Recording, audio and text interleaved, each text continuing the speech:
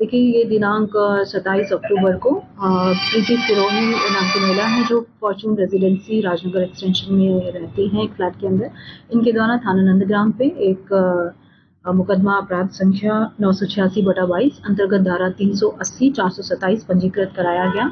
इनका कहना है कि तेईस अक्टूबर दिनांक तेईस अक्टूबर को दिवाली का त्यौहार मनाने के उद्देश्य से घर से बाहर गई थी। और सत्ताईस तारीख को चार बजे जब ये वापस लौट करके आई तो उन्होंने देखा कि इनका घर का जो सामान है वो बिखरा हुआ पड़ा है और इनके घर में जो सोने चांदी के आभूषण हैं वो गायब हैं। इसी के आधार पे इन्होंने थाना नंदग्राम पे सूचना दी और थाना नंदग्राम पुलिस द्वारा इसमें तत्परता से मुकदमा लिख करके अग्रिम विवेचना प्रचलित की गई। इसी के क्रम में घटना के एक दिन बाद लगभग 28 तारीख को एक कुरियर इन, इनके घर पे प्राप्त हुआ। इस कुरियर की सूचना इन्होंने स्थानीय पुलिस को दी, पुलिस द्वारा देखा गया।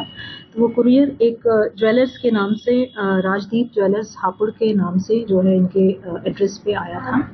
और जब उस ज्वेलर्स के एड्रेस को तस्दीक किया गया तो वहाँ पे इस नाम का कोई ज्वेलर नहीं मिला। पुलिस द्वारा इस संबंध में कुरियर को खोल करके देखा तो इन महिला द्वारा इनकी संपत्ति जो उस दिन आभूषण इनके घर से चोरी हुए थे, इनके द्वारा पहचाने गए और इसमें उनके जो आभूषण चोरी गए थे दिनांक सत्ताईस तारीख की घटना में, वो वापस आए हैं कुरियर के माध्यम से। फ़िलहाल पुलिस द्वारा इनके कुरियर के माध्यम से प्राप्त आभूषणों को महिला की पीड़ित महिला की सुपुर्दगी में दिया गया है और इस संबंध में सीसीटीवी फुटेज एवं सर्विलांस की मदद से अग्रिम वैधानिक कार्रवाई अमल में लाई जा